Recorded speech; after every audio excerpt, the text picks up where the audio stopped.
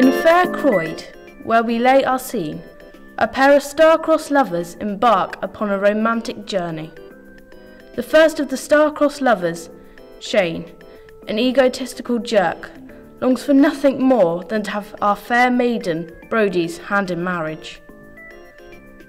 As Brodi alights from the carriage, she caught Shane's eye from afar, was confronted by Shane's intimidating arrogance. This was him showing off his muscles, clapping his hands, and swinging his arms across his body as if he was getting ready to run somewhere. And this is where our love story begins. The following day, Shane appeared at Croyde Bay under the pretense of running an errand for the coast earring. The lack of reciprocation from his loving gazes did little to dissuade him from his quest. His attempts to woo Brodi continue with his heroic actions, hauling damsels from the treacherous waters, hoping her gaze was on him. However, her thoughts were elsewhere. Hours passed, and Shane's infatuation with Brodi continued. In a desperate attempt to show off his brutish masculinity, Shane began lifting his brand new weights, but to no avail. Next, he began subtly hinting his sporting abilities. Total wipeout course, 2 minutes 50. Bournemouth Football Club.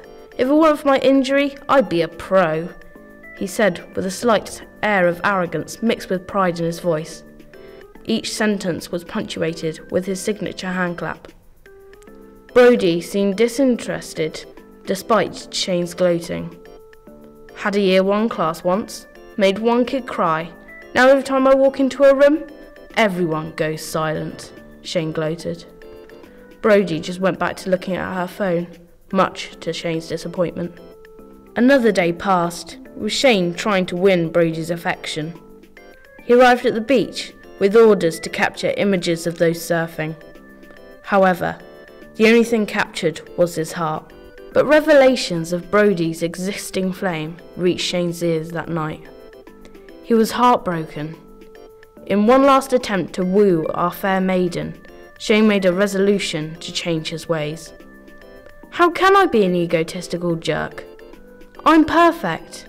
I don't understand. I know I'm too good for her, but she's always on my mind. I have to change my ways. Maybe Brodi prefers a gentle guy. Shane thought to himself, letting thoughts of Brodi sat on the beach earlier that day fill his head.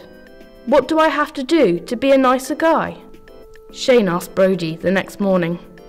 Brodi gave Shane the cold shoulder. Her blank look, eye roll, and walk made Shane retreat to his room in a depressed state. On the way to his room, a reflective surface caught his eyes. As Shane edged closer, he pondered, Who is this handsome gentleman? The realization dawned upon Shane. It was himself. And that was all he needed to be happy.